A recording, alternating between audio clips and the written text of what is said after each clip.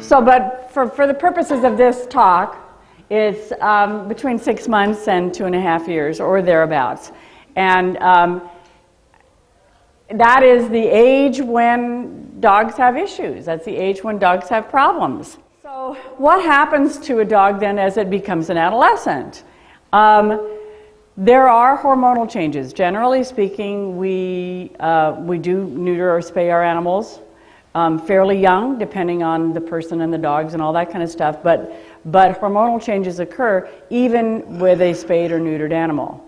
They are still, the, the endocrine system still keeps going, the hormonal systems keep going, and you will see differences.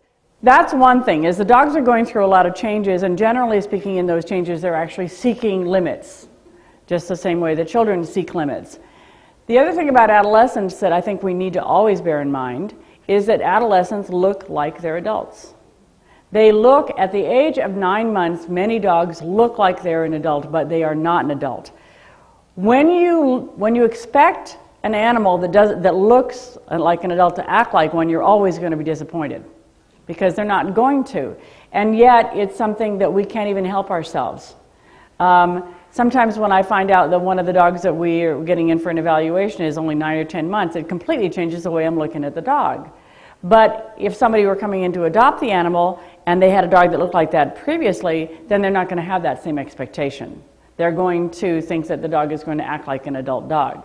So it's important to remember that that brain is still growing.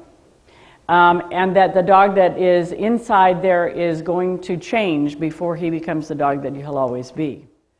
Um, so, how do you socialize an adolescent? Okay, so it gets, it gets tough. It gets really tough. You didn't have your dog when he was a puppy. You got him when he's an adolescent. So you got this nine month old energy burning, calorie burning, I need to go run around dog. How do you socialize him? How do you make sure that he gets enough exercise? Um, you know, what do you do? To, and it's, it's, it can be daunting.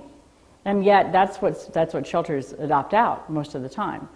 Are these, ex, ex, you know, people take the dogs and don't realize what they're getting in for what do you do, you know, if you're going to try to solve these problems? The first thing you do is you, you act as though you're the parent of a small kid and you do environmental management.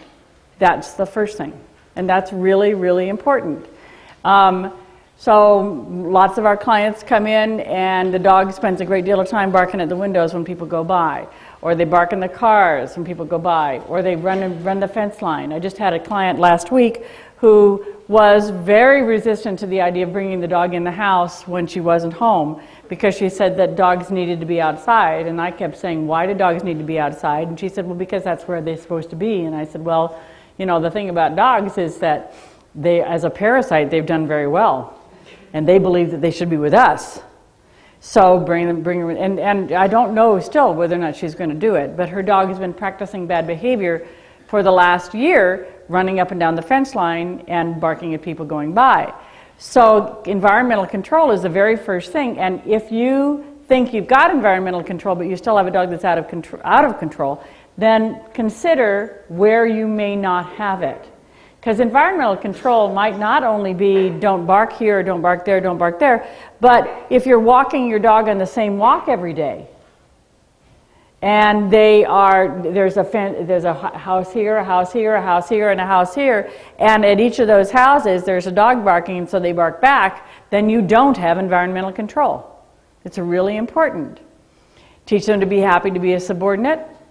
Um, consistent, pleasant, practical learning experiences, and supervised play. So trauma, because trauma gets stored in the amygdala, uh, which is the fear center and it is each trauma is stored in its entirety.